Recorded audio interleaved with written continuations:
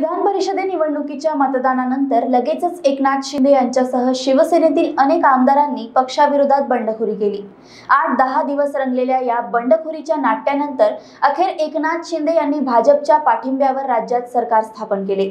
मात्र शिवसेनेने पक्षादेश न मांडणाऱ्या सोळा आमदारांविरोधात निलंबनाच्या कारवाईची मागणी विधानसभा उपाध्यक्ष नरहरी झिरवळ यांच्याकडे केली होती.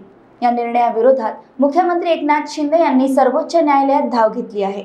मुख्यमंत्री एकनाथ शिंदे यांनी सोळा निलंबनाच्या निर्णयाला सर्वोच्च न्यायालयात आव्हान दिले आहे.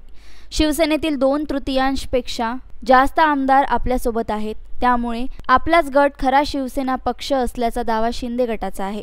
त्यामुळे आपल्या विरोधात कारवाई होऊ शकत नाही असे त्यांचे म्हणणे आहे. सर्वोच्च न्यायालयात आज त्यावर सुनावणी होऊन निर्णय अपेक्षित आहे. या निर्णयावरच मुख्यमंत्री एकनाथ शिंदे यांच्या सरकारचे भवितव्य अवलंबून आहे.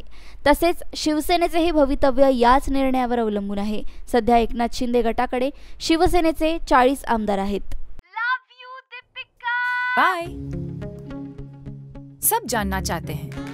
मेरा फेवरेट कलर मेरा फेवरेट डेस्टिनेशन मेरी फेवरेट डिश पर कोई ये नहीं पूछता कि फेवरेट डिश मैं बनाती कैसे हूँ। अरे यार, जिसे टेस्टी खाना पसंद है, वो अच्छे टेस्ट तक पहुँच ही जाता है। सुरुचि मसाले। खाने में हो रुचि तो घर लाइए सुरुचि।